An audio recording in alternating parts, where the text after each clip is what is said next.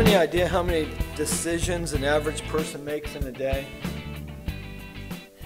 I, I looked it up. Uh, we, oh, sorry, I won't say what I was going to say. Um, wasn't in my notes, and sometimes I say things that aren't my notes. Well, I, I um, I'll go ahead and say it anyway. So, um, and saying no. What I, it's just funny sometimes with, um, you know, now with us having grandbabies, and, um, you know, I, I've said to our, our boys, I haven't said to the daughters in laws because that's not my place, I don't think, but I said to our sons, you know, your mom's an expert at these things. You know, she's an expert.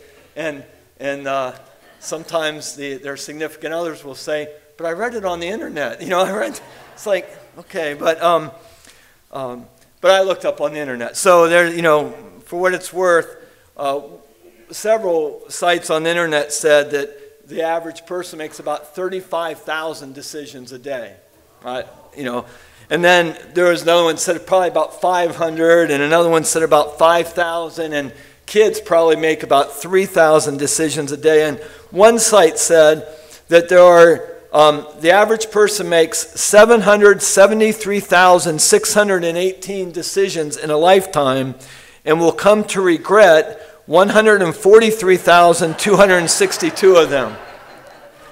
Again, where, where these numbers come from, I don't know. And then some sites differentiated between, they said you have to make a difference between choices and decisions. I mean, you know, pretty much the same thing. So I, I don't know. And then many of the sites acknowledge we really don't know how many decisions, you know, the average person makes in a day. Um, some, you know, make a lot more probably than others. I remember my, my cousin Brad, he, uh, some years ago, he got a new job and I was talking to him, and it wasn't like I talked to him every day, and he, he said, Clint, this is like overwhelming. He said, I have about 100 emails a day that I have to make decisions. And he said, We're not talking like about a $100 decisions. He said, There's a lot of money involved. And I, have, I just, you know, keep answering emails, and I'm, I'm the guy that's making these decisions. And, and so we know, we all know we have a lot of decisions in life. The, the most important decisions are about what? Any, anybody? Family, Tiff said? Money, is that what you said? Money, health, family. What you gonna What you gonna have for dinner? To some people, that's really important. Um, I had a very nice birthday meal yesterday, and and so um, they, you know, some is if you're gonna marry or who you marry, and maybe a home, uh, where, where you're going to live and what house you're going to get, or a career, um, if you're going to have children or not have children, um, our spiritual lives. There are a lot of, lot of big decisions in life, and we know a lot of small decisions as well. Um, the wise men, if we think about the story of the wise men, it's recorded in Matthew chapter 2 we can look at the decisions they made. We're not going to read it. I think most of us are familiar with that story, but just the story in that of, of the wise men, the decisions they made. They decided to leave their home, to leave their country, and to follow the star. They decided to continue to follow the star because it wasn't a short journey. They decided to ask for directions or to ask for help. When they came to Jerusalem, they, they sought advice. They met secretly with Herod, or he met secretly with them. They decided to continue. When they found Jesus, they chose, they decided to worship Jesus, and they decided to give gifts to him. And then they also decided to defy the king who told them to make sure and tell me when you find the baby. They decided to defy, defy the king and return to their country by a different way. Jesus said that he is the light of the world. Whoever follows me will not walk in darkness, but will have the light of life.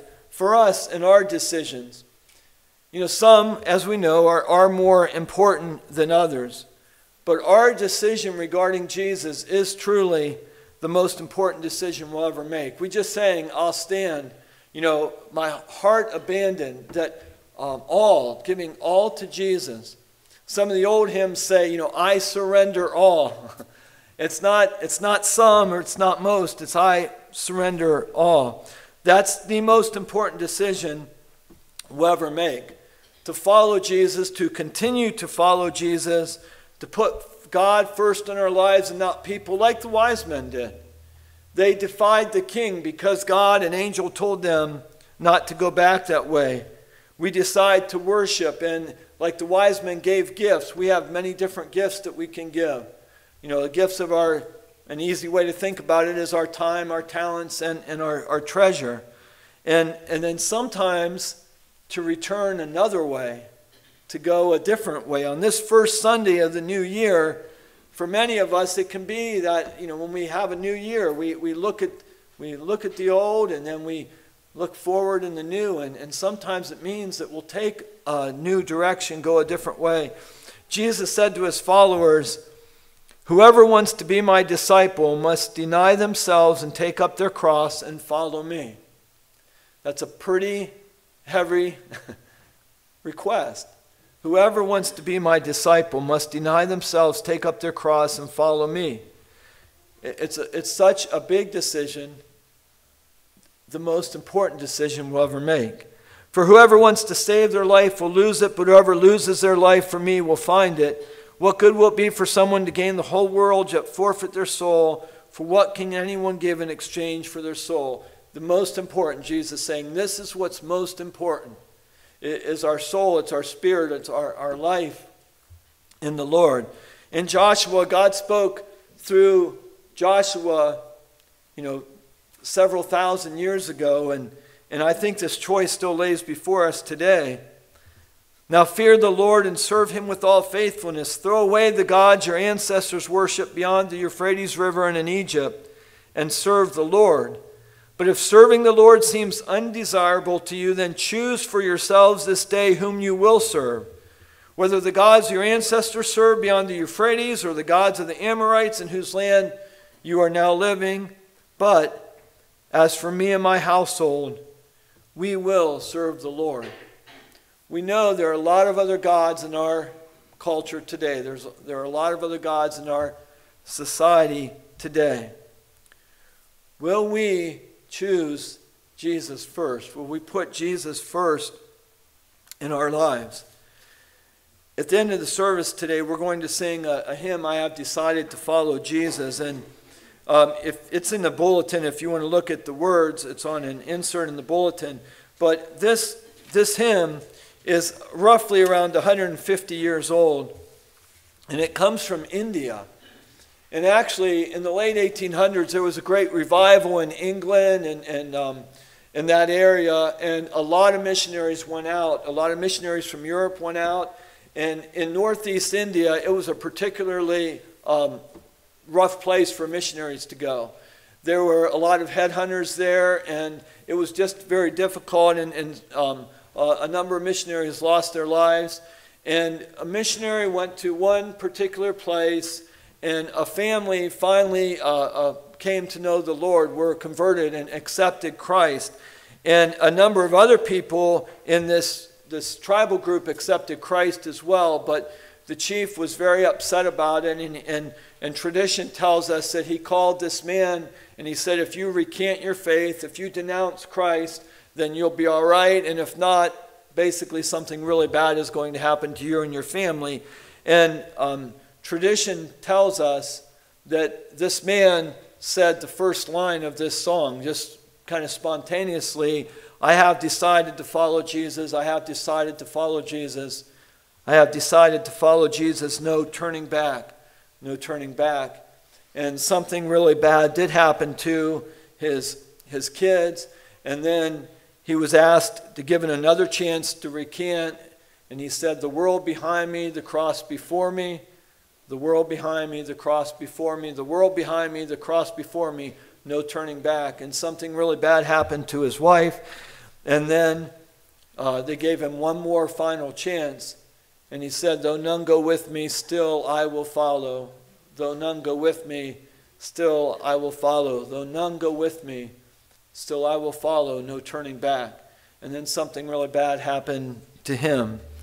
And after he was martyred, the chief that ordered uh, this to all happen basically couldn't believe the faith of someone. Why would this person be willing to lay down their life for uh, a man who lived in a faraway country, you know, almost 2,000 years ago. And he came to know the Lord, and then the, the, really the entire village came to know Jesus as their Savior. And there was a, a great revival there.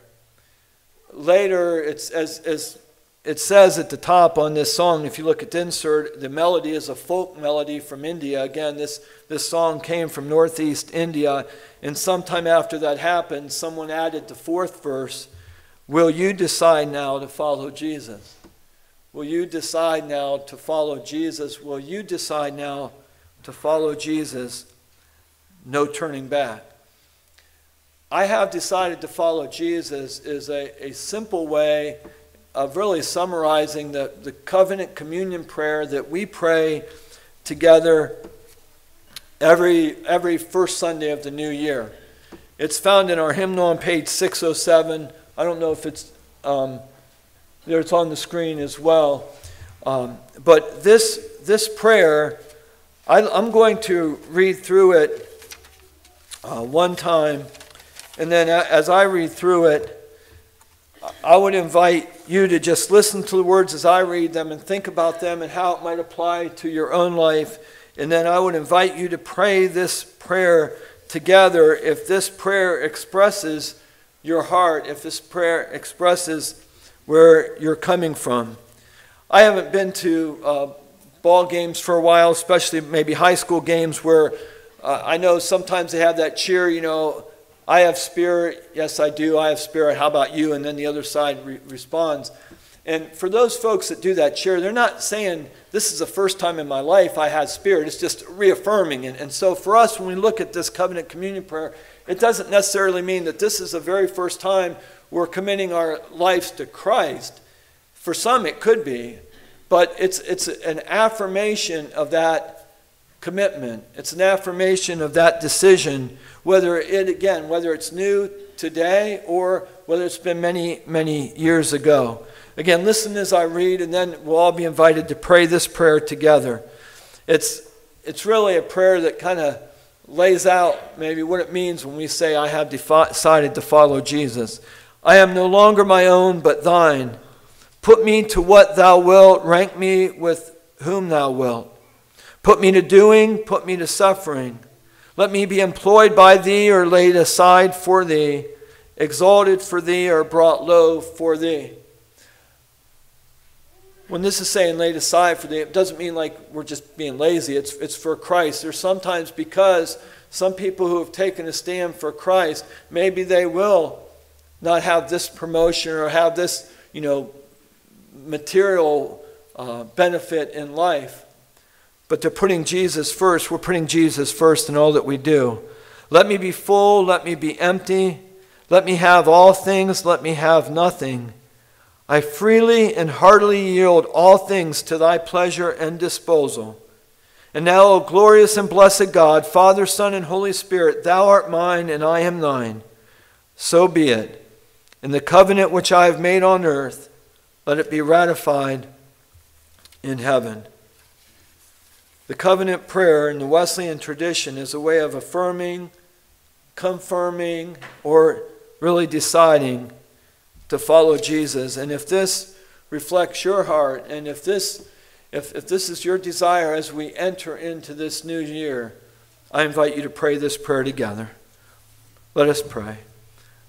I am no longer my own, but thine. Put me to what thou wilt Rank me with whom thou wilt. Put me to doing, put me to suffering.